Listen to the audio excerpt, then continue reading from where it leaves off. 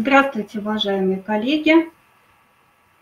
Э, я надеюсь, вы меня слышите.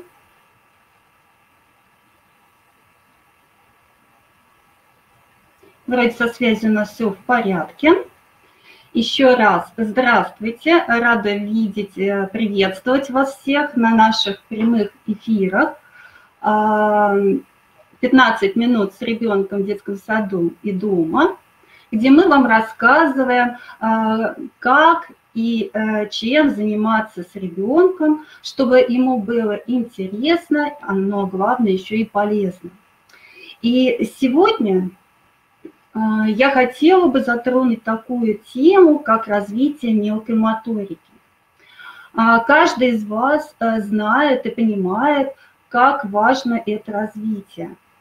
И, ну, во-первых, э, дети с хорошо развитой моторикой быстрее осваивают э, элементарные навыки самообслуживания, завязывать шнур, шнурки, застегивать пуговицы, одеваться –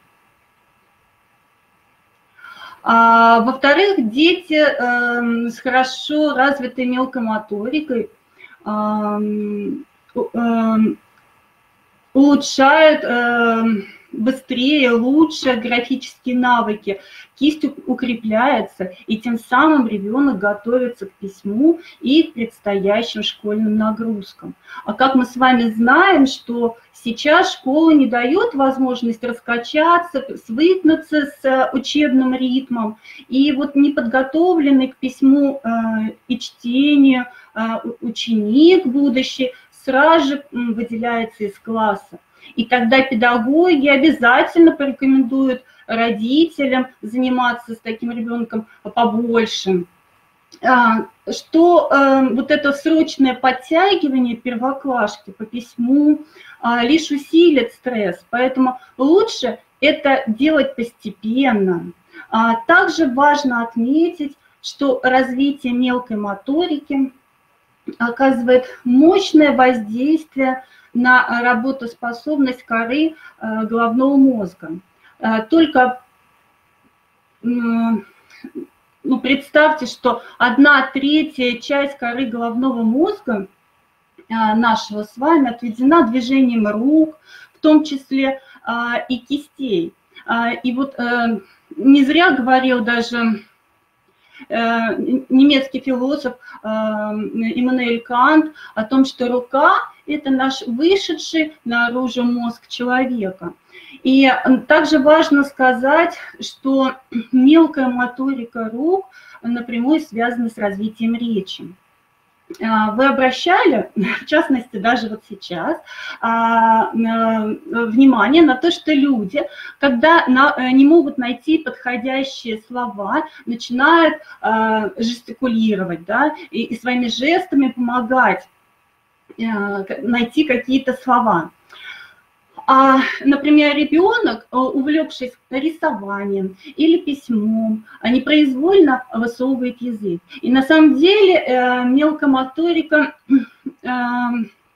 и речь это связано между собой исторически, физиологически. И все еще это идет с первобытных времен, когда люди постоянно а, использовали жесты в обращении и а, при этом а, издавали какие-то национальные возгласы. И потом уже постепенно появившаяся речь все равно долгое время сопровождалась активной жестикуляцией.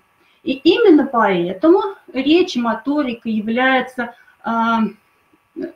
взаимо дружеские, и не зря они дружат с друг другом, потому что они не только воздействуют друг на друга, но они являются еще соседствующими зонами коры головного мозга.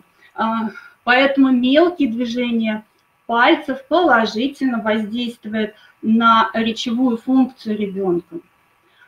А также надо отметить, что а, разви... Э, мелкая моторика влияет и на развитие мышления, памяти, воображения, логики, наблюдательности. Ребенок э, усидчив, координация, естественно, движений.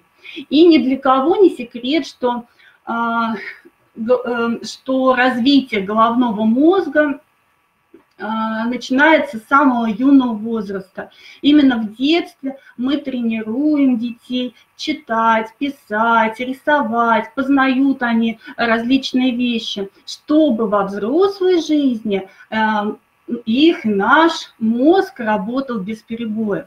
И поскольку а, занятие развития ручной умелости предполагает определенную степень зрелости мозговых структур, заставлять ребенка заниматься через силу неэффективно.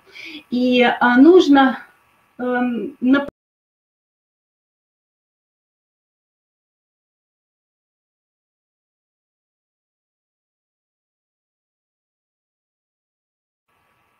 на упражнения, а, которые будут выполнять, а, который он будет выполнять с удовольствием, и ему будет интересно. И вот я хочу вам предложить сегодня а, такие замечательные книги, то есть это серия книг,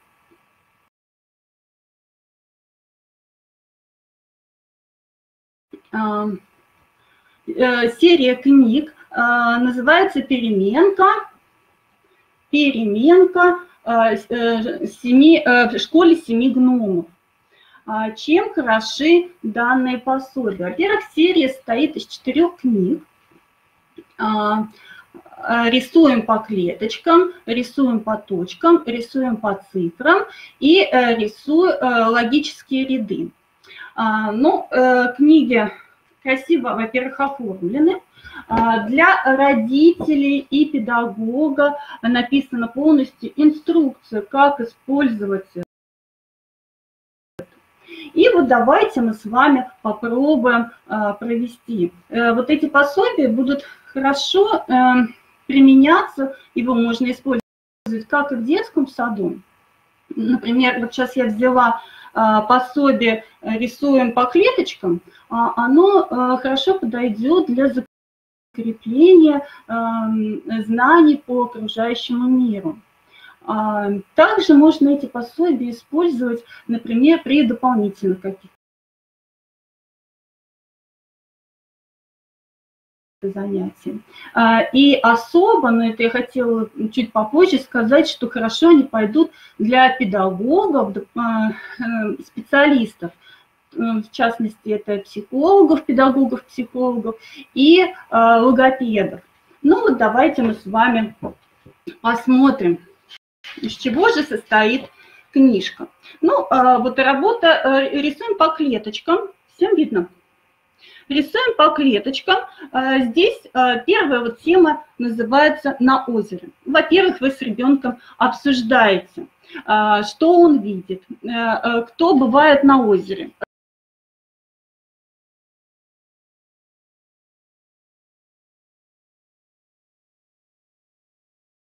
рассказывайте истории. Вообще можно сочинять каждый раз историю. Э, будь это гном, здесь э, главный сюжет, э, главный герой – это гном, которые либо путешествуют, вот ходят в разные места, либо что-то украшают, и детям предлагается помочь. И вот например, на озере, вы э, говорите, а что может быть на озере, кто в них живет, вот рыбки, а кого ты еще здесь видишь, а смотри, э, здесь э, камыши, и птичка прилетела, а еще кто из стрекозки, и вот вы обсуждаете с ребенком. А, дальше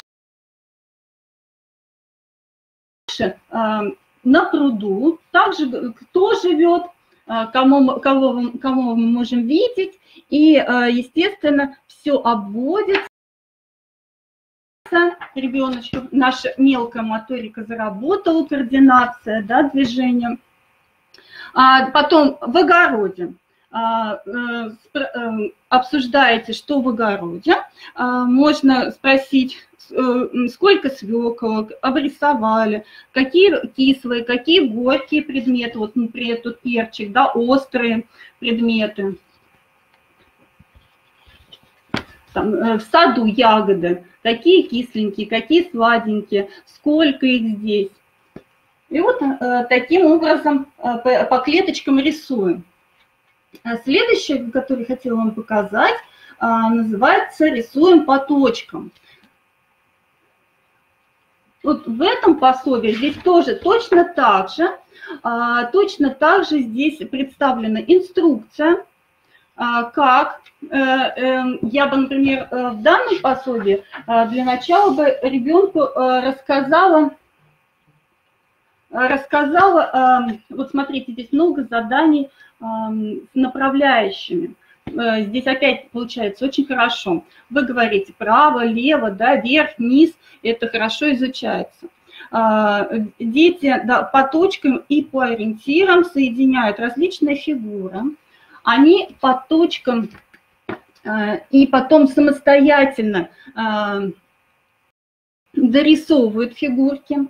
Но, например, если у вас сообразительные дети, более способны, можно усложнить э, данное пособие. Например, вы говорите, вы начинаете диктовать три клетки вверх, Э, и так далее, как графические диктанты по клеточкам, но тут будет у вас уже по точкам.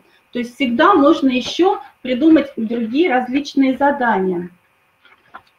Там, вот смотри, у нас э, мы нарисовали, э, гномики нарисовали красивый эм, коврик, помоги точно так же нарисовать. И вот ребенок соединяет, э, морковку делает, на какую фигуру похожа морковка, какого цвета, а заштрихуй ее и, и так далее.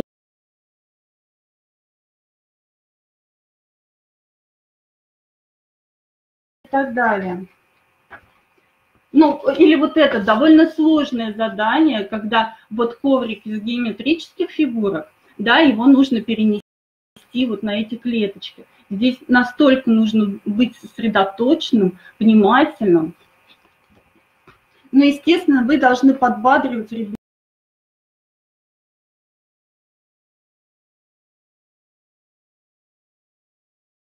Говорить о том, что молодец, у тебя э, хорошо получается, иначе из-под палки это будет детям неинтересно. Иногда бывает даже, знаете, какой-то соревновательный момент. Кто здесь самый глазастый, кто самый шустрый.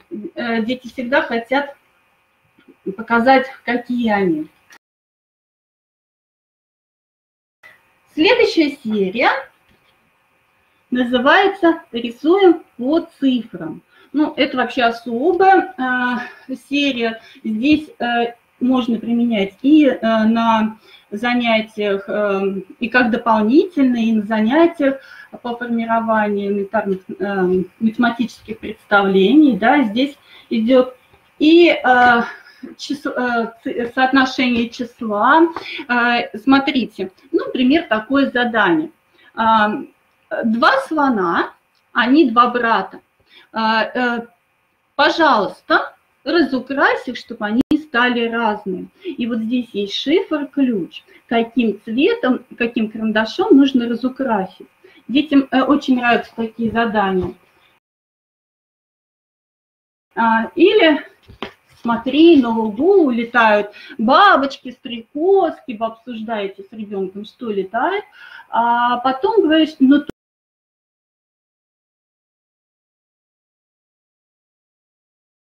еще что-то прилетело, догадайся, а, и э, соединяя э, цифры, дети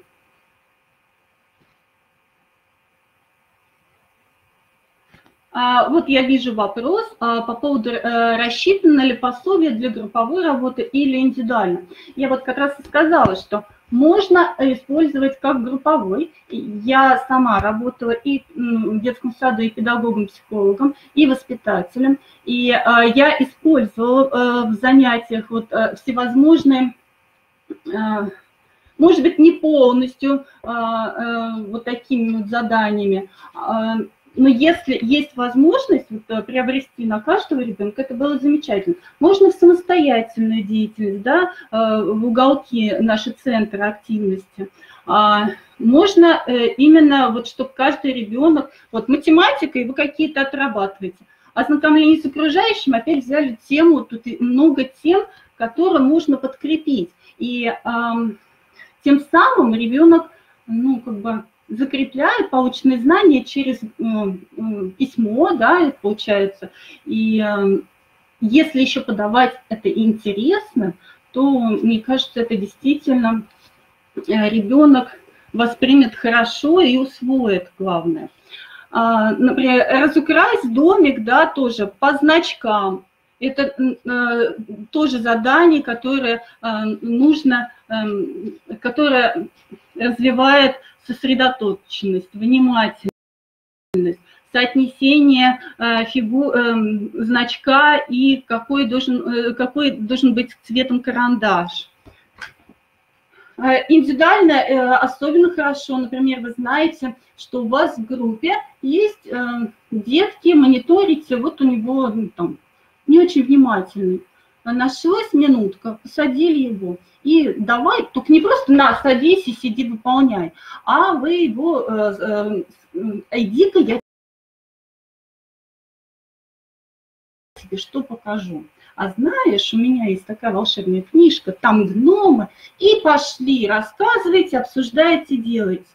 Скажите, у вас там много детей и а, некогда других можно а, там растерять, потерять и так далее, ну, можно заинтересовать и попасть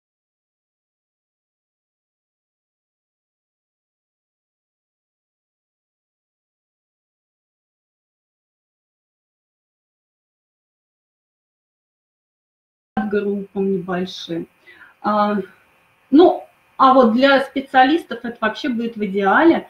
А, можно а, э, набрать разными упражнениями и проводить общеразвивающие занятия. Это, например, как для психолога. Добавив туда игры на сплочение, игры на рефлексию и так далее.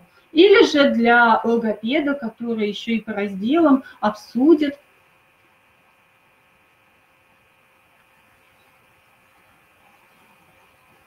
А, э, каким разделом? Ну, вот можно использовать в математике, в ознакомлении окружающем мире, при развитии речи. То есть они не прикреплены именно к программе, а, но э, можно использовать их как дополнительная, закрепляющая возможность развить способности у детей. Смотрите, нужно разукрасить и а, понять, э, кто спрятался. То есть вот такие различные задания.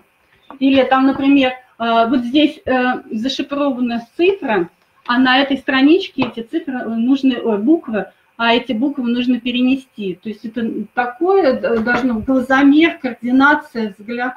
Или, например, математические примеры. Решив их и узнав ответ, ты правильно разукрасишь домик. Ну и еще одной из серии а, – это логика, логические ряды. Доставят большое удовольствие. Дети любят всякие различные логические задачки. Порой и, порой и взрослые готовы подумать. И вот смотрите, например, здесь нужно догадаться, какая закономерность и правильно разукрасить.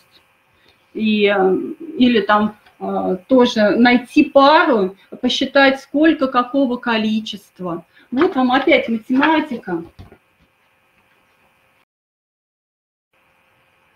Вот представлена вся серия наших пособий. И следующее. Сейчас э, на мом... э, есть э, возможность приобрести эти а, замечательные книжки, серию книжек со скидкой. Э, если вы ведете промокод на школе семи гномов, а, это интернет-магазин официальный, это издательство «Мозаика Синтез», которое вот и издает такие прекрасные а, книжки. Если вы ведете промокод большими буквами МПАДа, то есть Международная педагогическая академия дошкольного образования, у вас будет скидка – и что очень приятно, например, если у вас есть уже скидка э, на школе семи гномов, то э, при э, введении промокода скидка 25% остается у вас на, без разницы, если у вас даже была меньше скидка. Это акция до 15 апреля. Так что я вам рекомендую приобрести вот такие замечательные пособия. На этом э, завершаем. И, и благодарю всех за внимание. Э, жду наших новых прямых эфиров. Э, надеюсь, вам было интересно и